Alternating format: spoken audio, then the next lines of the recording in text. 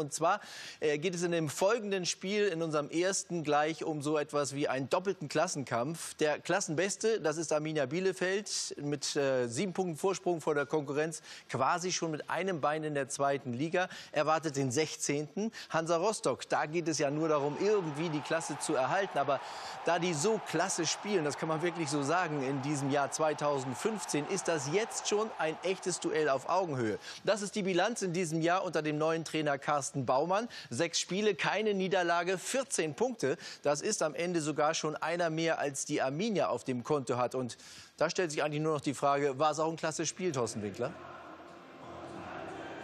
Ja, klasse Arbeit hat Carsten Baumann offensichtlich schon geleistet. Trotzdem hat er seinen Wohnsitz noch nicht nach Rostock verlegt. Umzug erst nach dem Klassenerhalt, seine Devise. Und mit dieser vorsichtigen Art und Weise begannen seine ganzen gelb spielenden Rostocker auch diese Partie beim Tabellenprimus, der sich in der Anfangsphase äußerst schwer tat gegen die extrem defensiv eingestellten Gäste. Die erste Möglichkeit für Top-Torjäger Fabian Klos erst nach gut 20 Minuten. Ansonsten kaum eine Lücke zu finden für das Team von Norbert Meyer. Erst ab Mitte der ersten Hälfte das Spiel des Tabellenführers mit mehr Struktur. Florian Dick. Hemlein, Schuhn und Mast ist da. Aber der Jubel von Dennis Mast da jäh und schnell unterbrochen. Die Fahne des Assistenten war oben abseits angezeigt und entsprechend und auch korrekt von der unparteiischen Bibiana Steinhaus entschieden. Mast beim Kopfball von Hemmlein im Abseits keine neue Spielsituation. Es blieb also beim 0 zu 0. Die Schlussphase der ersten Hälfte. Ballverlust Junglas und dann schalten die Rostocker sofort um. Gruppe, Safran mit Platz, vorbei an Schwollow. Spurleer und Ziemer macht ihn rein. Bibiana Steinhaus zeigte zur Mitte, aber sofort Proteste der Bielefelder. War dieser Treffer korrekt? Der Jubel von Ziemer schon ziemlich verhalten und es wurde hektisch. Die Unparteiische ging zu ihrem Assistenten und dann nahm sie ihre Entscheidung zurück. Kein Tor, denn so die Wahrnehmung des Assistenten war es abseits und auch das war korrekt. Nur Börner vor dem Schützen, dadurch Ziemer im Abseits. Respekt für das perfekte Zusammenspiel des Schiedsrichtergespanns. Es blieb beim 0 zu 0, aber Rostock plötzlich wie aufgedreht. Als Schwede, Sporlea, Lorenz viel zu weit weg. Und dann ist auch Safran völlig frei. Halil Safran. Letzte Woche erzielte er den 1 zu 0 Siegtreffer gegen Chemnitz. Allerdings eindeutig mit der Hand. Da gab es heute aber nichts zu beanstanden. Alles regelrecht 0-1 Halil Safran bringt Rostock in Führung. Aber noch kein Pausenpfiff. Die Nachspielzeit der ersten Hälfte. Rostock in der Rückwärtsbewegung noch nicht richtig sortiert. Hemmlein und in der Mitte Schütz. Der Ausgleich durch Tom Schütz. Ja, diese Schlussphase der ersten Hälfte hat es richtig in sich. Der Tabellenführer schlägt zurück. 1 zu 1 der Pausenstand. Einige knifflige Situationen waren dabei, aber alles tadellos gelöst von Bibiana Steinhaus und ihren Assistenten. Kompliment dafür.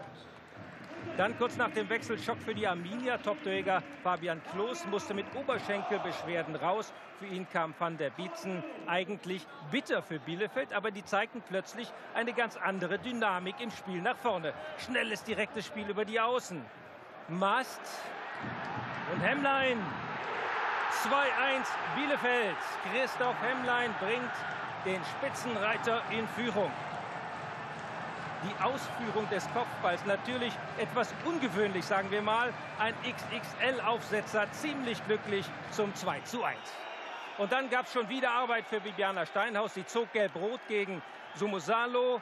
Von allem, was dabei heute und auch hier lag sie richtig nach diesem Foulspiel des schon verwarnten Rostockers gegen Hemmlein. Gelb-rot die logische Konsequenz. Innerhalb von nur zwei Minuten brachte sich die Mannschaft von Carsten Baumann selbst um ihren Lohn. Aber Rostock alles andere als kurz vor der Aufgabe. Die Einstellung passte trotz allem immer noch. Ruprecht abgeblockt. Memmi Keng und der wird von Himmlein zu Fall gebracht und sofort ertönte der Pfiff der Unparteiischen. Strafstoß, Rostock. Ja, es war wirklich alles dabei, was die Fußballregeln so hergeben. Und auch in dieser Situation lag Bibiana Steinhaus richtig. Ein ziemlich unnötiges Foulspiel von Hemmlein. Christoph Hemmlein, erst der Führungstreffer und dann dieses dämliche Foul. Steven Ruprecht gegen Alexander Schwollow. Und der passte. 2-2. Der Ausgleich für Rostock und das Ganze mit einem Mann weniger. Souverän verwandelt von Steven Ruprecht. Vergleicht die Arminia hier den schon fast sicheren Dreier die letzten Minuten. Ecke Lorenz. Und dann springt Junglas am höchsten. 3-2 Bielefeld. Und dabei blieb es dann auch bis zum Schlusspfiff. Ein kurioses Fußballspiel auf der Alm. Rostock wieder mit sehr guter Vorstellung, aber die Punkte bleiben in Bielefeld. Wir haben heute die Aufgabe super angenommen. Hansa hat wenig verloren in letzter Zeit, waren auch richtig gut unterwegs. Ähm, und dann gibt es natürlich so Tage, wo Arbeitssiege zählen. Ich glaube, es ist nicht unverdient. Genau das sind die Spiele, die man wohl gewinnen muss, um am Ende den Aufstieg klarzumachen.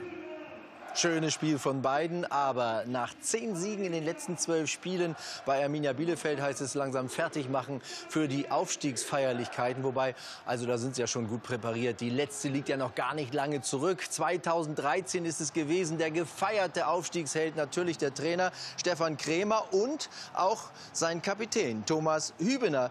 Die gefeierten Helden mit einer tollen Geschichte. Aber als es dann in der zweiten Liga irgendwie völlig überraschend nicht mehr ganz so lief,